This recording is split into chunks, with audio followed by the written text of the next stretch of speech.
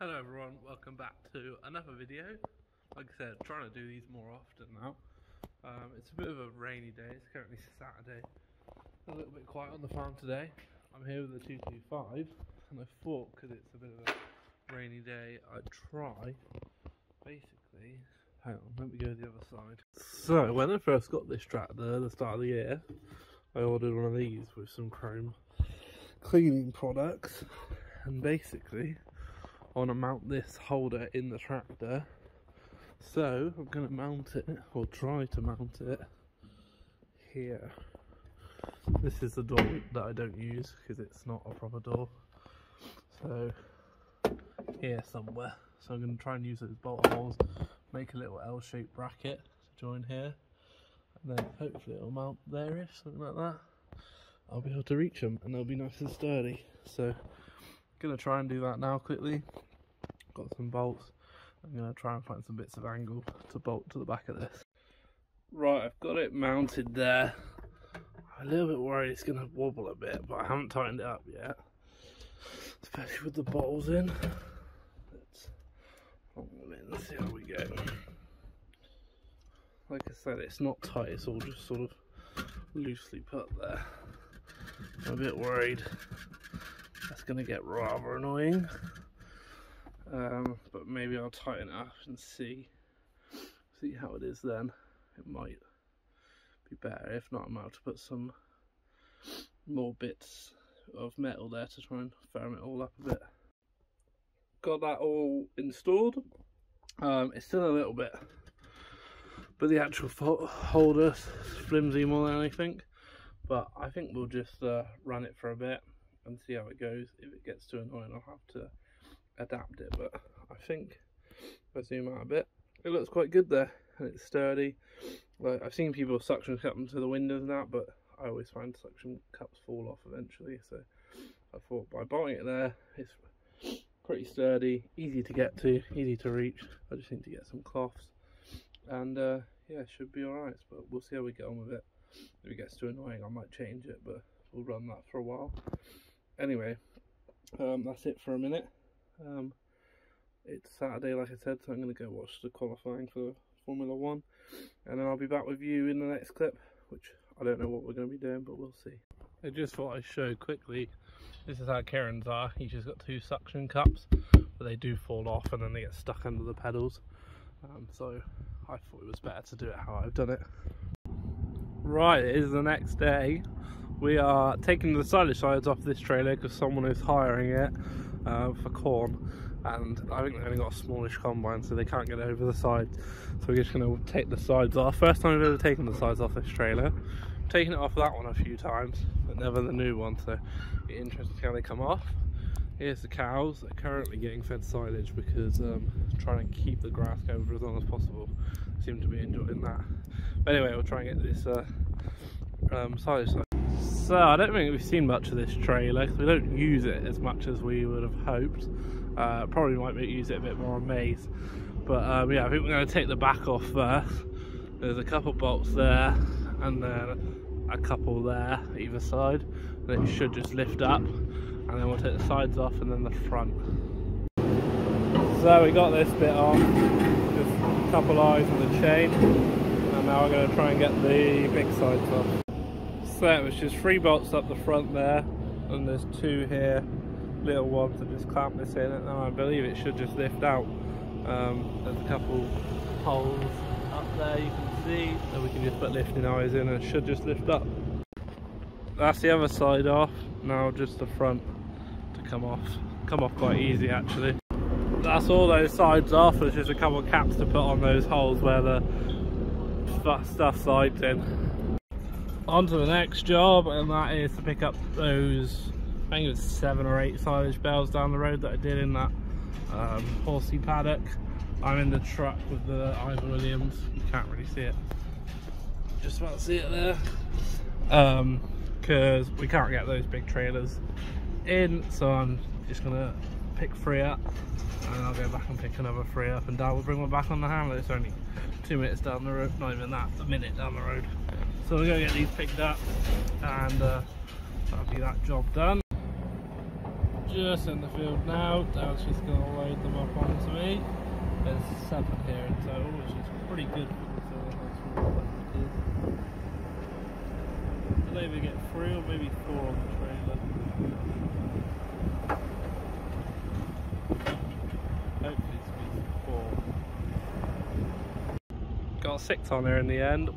What?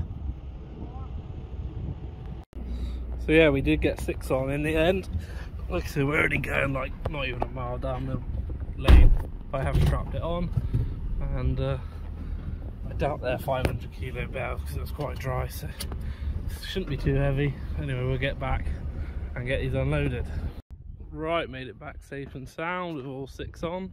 I think Dad's going to stack them here somewhere in front of last year's first cut. So I'm going to take these straps off and uh, then he can get them unloaded. And then I'm off to watch Formula One because it's on the TV in a minute. Um, and then I think we might have a cow calving either today or tomorrow. She looks quite restless.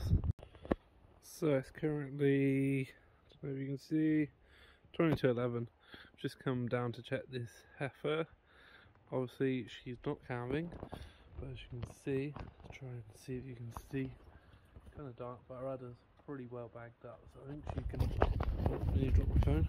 I think she's going to be pretty close to calving any day now. But yeah, so we'll just probably check her during the night to make sure she's calving all okay. Because um, some of the calves out of Cosmo at Hereford Bull have been on the larger side, but whether that's due to him or I think they might have got fed a bit too well. But yeah, I think she's going to be calving any day now. Just moving the fence again, the next day. There's a real nice bed of clover and grass here. There's a lot of weeds as well. But um, Dad's just topping it, so that's what it looks like, nice and tidy once it's been topped. That patch there, it's been grazed but not topped. So they just sort of leave the weeds. Yeah, they love this uh, nice clover. See the brown Swiss there really munching away. Um, we're getting through the field now, there's not much left. It looks weedy because it is weedy, but in the bottom there is some good grass that the cows are really doing well on. So you can see they really love that clover.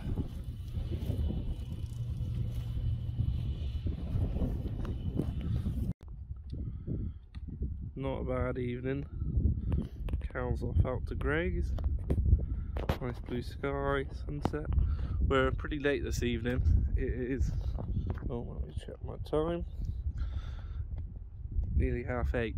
Because uh, we've been to a sale and we bought some brown Swiss, um, dairy, heifers, calves, and bullin, um, heifers. So, um, yeah, we're a bit late, but I'll just go around and show you them now. Uh, I'm quite pleased with them. Some are like calves on milk and then some are bulling age. So we'll uh, get them served. Yeah, just wanted to show you this nice view this evening. So here we have the new arrivals. These five here. These are all brown Swiss crosses. Um, but I tried to pick out some more brown Swiss looking ones. Um, I'm really pleased with these. So these four here are bulling, and this uh, lighter coloured ones in calf, um, which is ideal. Um, she's a little bit lame on that front foot, this one, so we'll have a look at that the next day.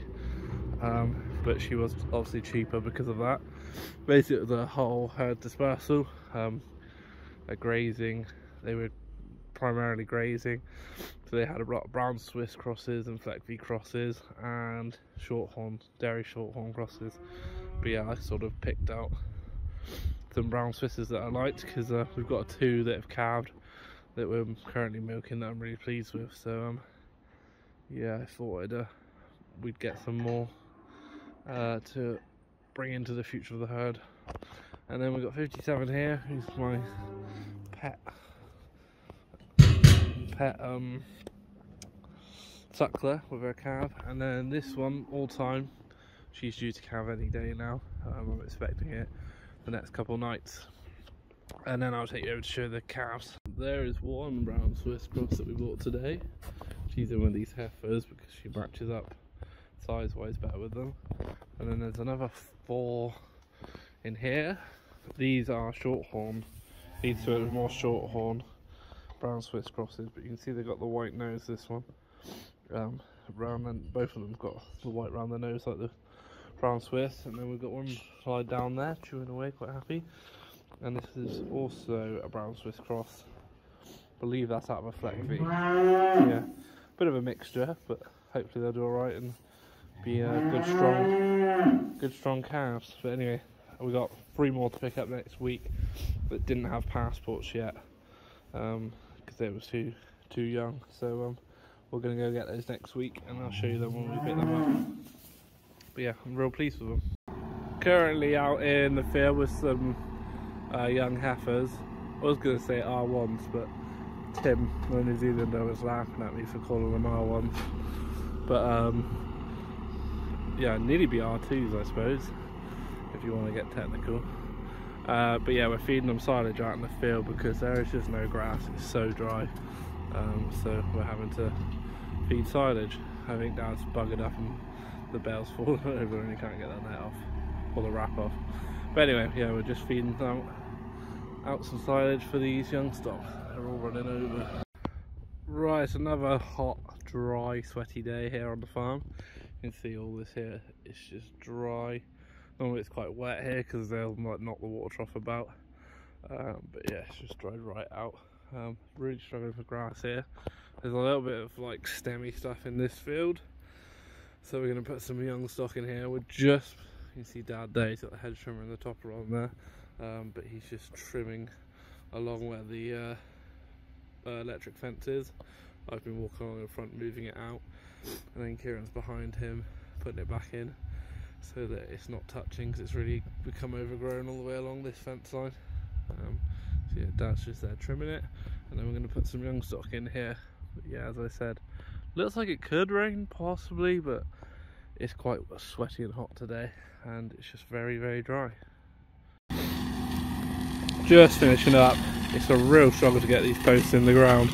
It's just so hard. It's like concrete in some places. Um, but yeah, we're just about managing to really force them in.